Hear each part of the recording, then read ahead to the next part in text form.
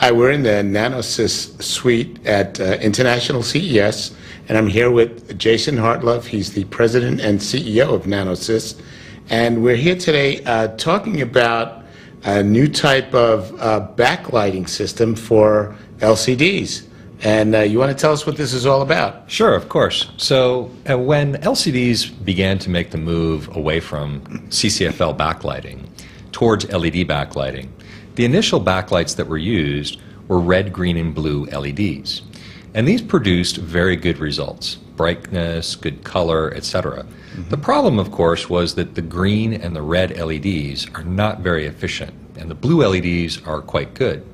So, as a result, the red, green, blue LED system used a lot of power, it created a lot of heat, and was generally not favorably received by the industry.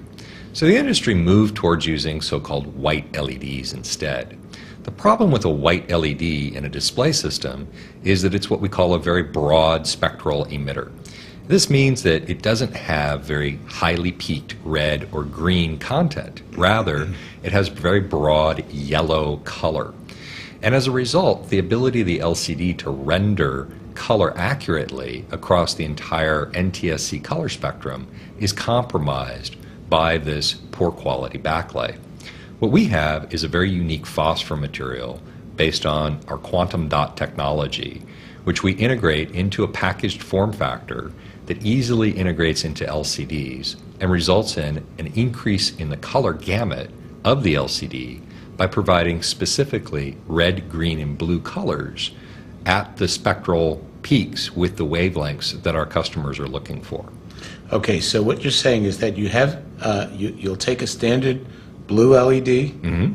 and you'll place your material in front of it, mm-hmm. and that will give you a whole different experience with the color. Absolutely. Okay, so um, give us a little bit of the physics uh, behind this thing. Sure. So most phosphor materials that you see uh, being used in the industry are based on uh, certain crystalline properties of the phosphor materials themselves. Mm-hmm. So one very common one, for example, is YAG, or yttrium alumina garnet.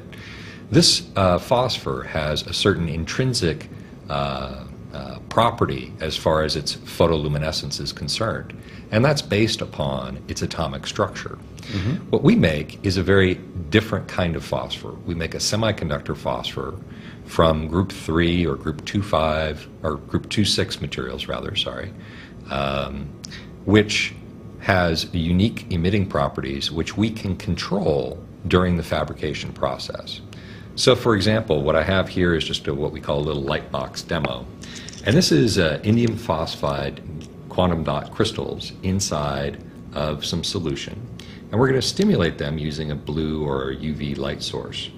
And we can see that we can now see that indium phosphide can be made to have a green emission pattern or yellow. Oh, my light keeps toggling off. It could be made to have a green emission pattern or yellow or orange or even red, all from the same base material. Okay. And so we can control that fabrication process of the phosphor and make those very narrow spectral sources. And by combining multiple ones together, we can, for example, make a, add some green and some red together with the blue to make a perfect red, green, blue backlight light source for okay, so, LCDs.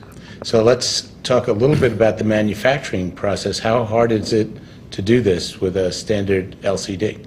Yeah, so we generally take the hard part upon ourselves. So mm-hmm. we make the phosphor material using a liquid phase chemistry process, which is a high volume uh, automated synthesis. We take that material and then we combine it with certain polymers and we form it into thin strips.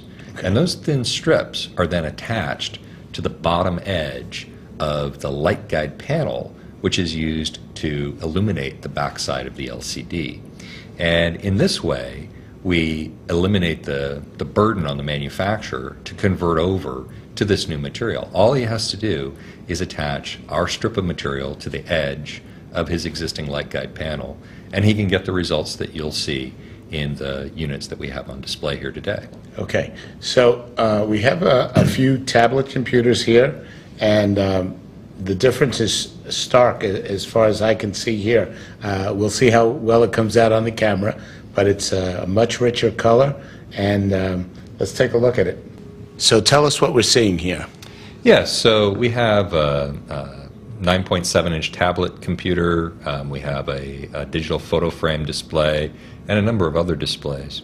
Um, the 9.7 inch tablet is, in the uh, one case, we have the uh, standard product as you would be able to buy it today uh, at, the, uh, at the store.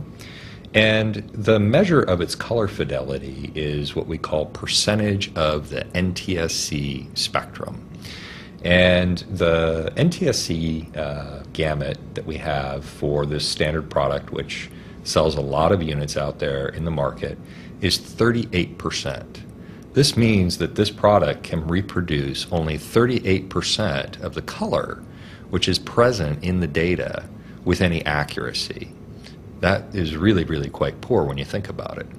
So what we've done is we've changed that display's uh, backlight system over to one which uses our technology, and we've more than doubled the color gamut to more than 80% of the NTSC color gamut. And as you can see from looking at these, um, the color gamut difference in the color saturation, color accuracy is just is just quite astounding, actually. When we look at the uh, photo frames, um, similarly, we can see that we start off with a product which is uh, available in the market today, having uh, 42% of the NTSC color gamut, and we've been able to improve that to uh, over 60%. Um, this, again, is quite significant in that the quality of the photos being displayed, the facial tones, colors, etc., they're not going to have that washed out look. They're going to have a more natural look. They're going to have the proper amount of red in them rather than just having orange instead of red or yellow instead of green as their dominant colors. So. The first products that we're going to be seeing this show up for consumers is in the smartphone segment. Uh, the 3.2 inch to 4.5 inch displays, uh, such as are very popular in many smartphone models today. And we have a representative sample here from one of our customers, uh, a major display manufacturer. And we see that uh, the existing product that they're making that is used in phones extensively today has about 45% color gamut.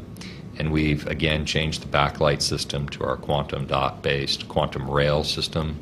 And we see we are able to render uh, 102% of the NTSC color gamut. And this technology scales well. So, although we're going to see it first in mobile phones and smartphone applications, we also have demos here today of 47 inch televisions.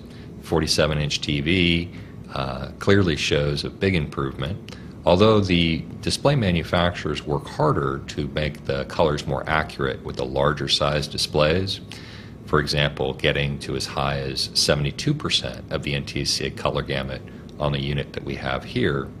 Uh, again, with our new phosphor backlight system, we're able to achieve 106% of the NTSC color gamut, uh, which means we can render more colors than is actually available in the data set, which means that you know, there's a possibility to expand the color set um, in the standards going forward in the future as well. Okay, now if our viewers want some uh, more information about this, where do they go?